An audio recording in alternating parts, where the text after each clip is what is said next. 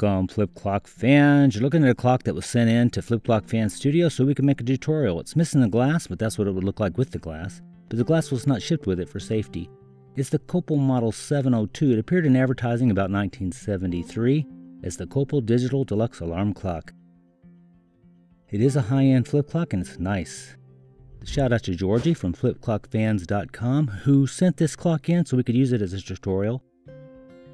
We're going to look at how to replace the light, and how to get a motor started that's not working. You can see here this is not spinning, the motor's not working. So I'll have to remove some screws. I'm not going to go into that so much. It's not so much a, uh, about the 702 as it is about how to replace these lights, these bulbs.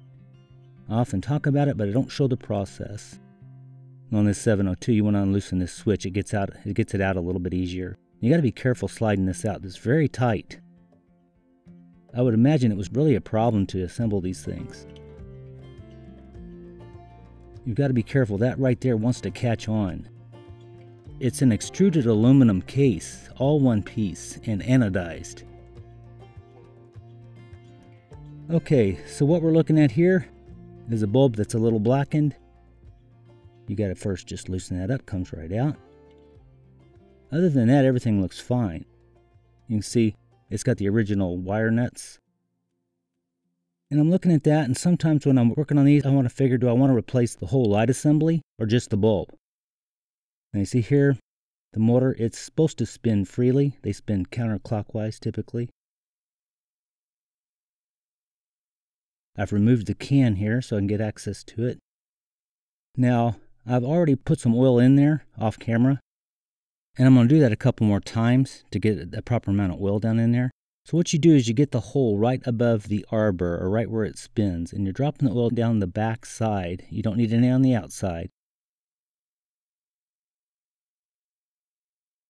I'm doing a little bit of a pulse. You got to be careful doing that. You might even want to skip this, but it helps get the oil in there. You don't want to pull the gear on the other side off. That would be bad. Once you get that oil down in there, you spin it. You also want to run the motor. Let it work that oil down in there. Maybe let it run overnight and then put another drop in the morning. Today we're using SpeedX, the Go Faster bearing and chain treatment. And it's got stuff in it that helps break down gunk, and it lubricates well. It's been doing good work for us. We used to use alcohol to break that loose and sometimes WD 40, but we've moved away from that. We do not recommend that anymore. So you'll see when I power this on, the light will come on, and we want to see that motor come on right away, and it pretty much does, so it's working well. I should be able to stop it, and if I release it, it should start right back up. It's a little lag there. So as the oil works itself down in there, that'll get better. Now turning our attention to this bulb, we want to look at that and say, well, the components are in good shape. We seem to have enough wire to work with. Sometimes I'll, I'll rebuild a whole component, but this time I'm going to show you how to replace just the bulb. Instead of undoing all these nuts, we're going to try to preserve everything like it was in the original. They use a, a brown adhesive, and I'm pretty sure I know what that is. You're going to have to break this loose with something like this pick. What I use is a silicone adhesive called Whirlpool 297368. It is for putting felt on dryers. It is waterproof and is high temperature, so it's perfect for that. What it's going to do is just hold that component together. You do not have to overdo that. And I'm pretty sure they've used something like that. You break it loose. It's like rubber cement. But again, it's high temperature. You're not going to have to worry about something flaming up on you. So you slide the tubes down. You see here that the tubes go far enough away from the bulb to where it's not going to get in my way, so I'll be able to replace just this bulb. Now you'll see the resistor there. The bulb you replace it with has to have a resistor. The bulbs that I typically use are going to be called C2A, and I use the company Memotronics.com. They include the resistors that you need with the bulb. You don't want to use the same resistor, they have aged, they're not going to function as well. So you want to replace the bulb and the resistor. I'm going to show you how to do that. We want to get the length about the same as this setup so that we, we don't have to cut wires or anything. We're just going to replace it. Now, I've already warmed up those connections and pulled pulled this out. So I had to warm that up with my soldering iron and it just pulled out. They had wrapped the wire around the leads and then soldered it. It would be funny if I could heat that up and slide that back in there. Theoretically, I could, but it actually wouldn't make a good connection. Usually, you want to strip the wire and then tin the leads like these are already are tinned. Tinned means covered with solder. So we're just going to lie those side by side and solder them together, and it's actually going to work great. Now I'm measuring this up to get the same length. Now you see the bulb is a little bit shorter on the C2A. That's not a big deal. The extra length on the other is just the size of the nipple. And that can be accommodated for. It's not a problem at all. The light output is very good on these C2As. That's where the one wire is going to attach that doesn't have the resistor on it. Here's how we do this. What I'm doing is I'm heating the leads now right here what I'm doing is tinning the soldering tip. You do that, it helps transfer heat better. It helps protect your soldering iron's tip, but it'll transfer heat better too. I'm warming up the leads. Now some people will say you're going to melt the solder on the hot leads. What you got to get away from is thinking that you're dripping melting solder onto wires. That's a horrible job. You can usually tell when someone's done that because it gets real clumpy. Now you let this cool down by itself. Don't blow on it. It'll just cool naturally. And that's it. So that side's done.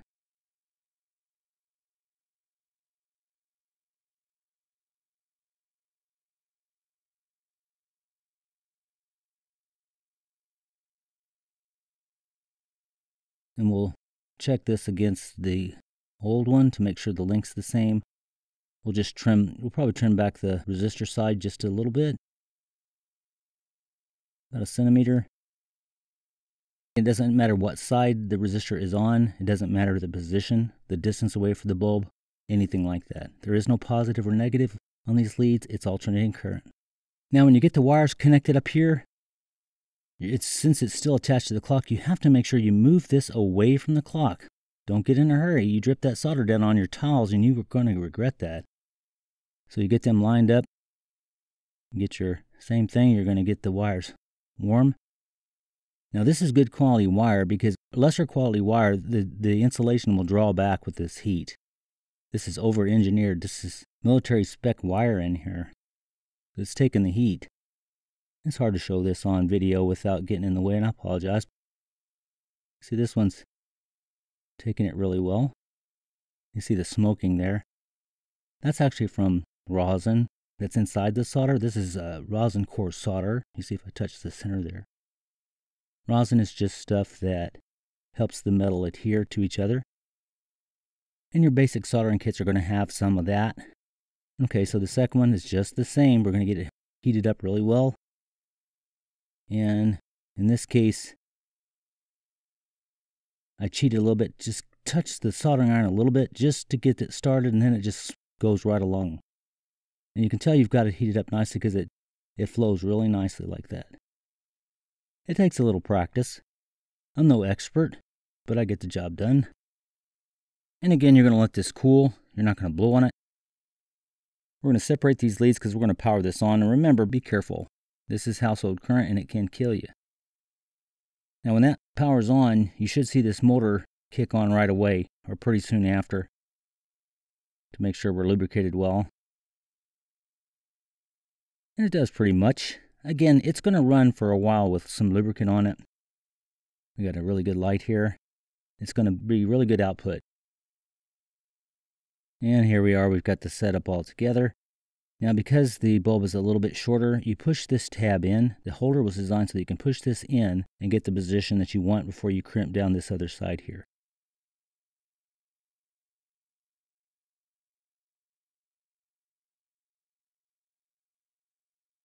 So everything seems to be in good position. Again, we're going to power on, we're going to test, and probably put one more drop of oil on there, let it run overnight. Get a good position here, about right in the center. Just whatever works for you. That's going to look good. So there it is, Copal Model 702 Got a working motor now, working light, and I hope this little tutorial helps someone. Thanks for taking the time.